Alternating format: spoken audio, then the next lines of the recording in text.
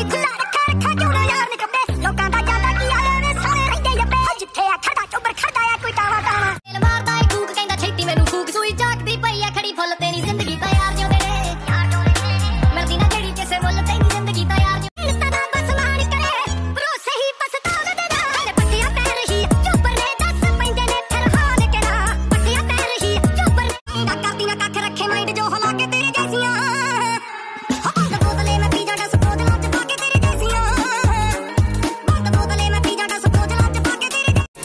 ਸ਼ੇਰਾਂ ਵਾਂਗੂ ਅਜੇ ਆਉਂਦੇ ਜ਼ਿੰਦਗੀ? ਅਸੀਂ ਆਪਣੀਆਂ ਰਾਹਾਂ ਚੁਣੀਆਂ।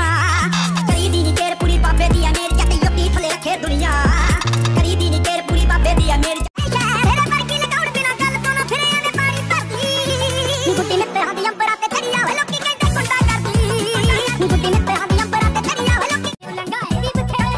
ਕਿਸੇ ਨੂੰ ਦਬਾਉਣ ਨੂੰ। ਕਦੇ ਸੋਚਿਆ ਨਹੀਂ ਕਿਸੇ ਨੂੰ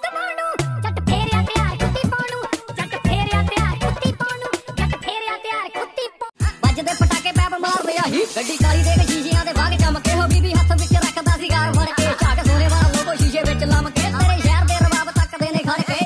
ਠੀਕ ਹੈ, ਆਪਾਂ ਲੋਕਾਂ ਨੂੰ ਨਹੀਂ ਗੱਲਾਂ ਕਰਦੇ ਜਾਂ ਭਾਅ ਘਾੜੀਏ ਪਰ ਮੇਰੇ ਤੇ ਲੋਕ ਬਹੁਤ ਲੱਗਦੇ ਬਈ। ਪਰ ਮੇਰਾ ਹੁਣ ਇਹ ਟੀਚਾ ਵੀ ਕੋਈ ਕੰਮ ਨਹੀਂ ਮੈਂ ਕਰਨਾ ਕੁਝ ਨਹੀਂ ਕਰਨਾ, ਲੋਕਾਂ ਨੂੰ ਮਚਾਉਣਾ ਬਸ, ਮੇਰਾ ਟੀਚਾ ਇਹ ਹੈ ਵੀ ਹੁਣ ਲੋਕਾਂ ਨੂੰ ਮਚਾਉਣਾ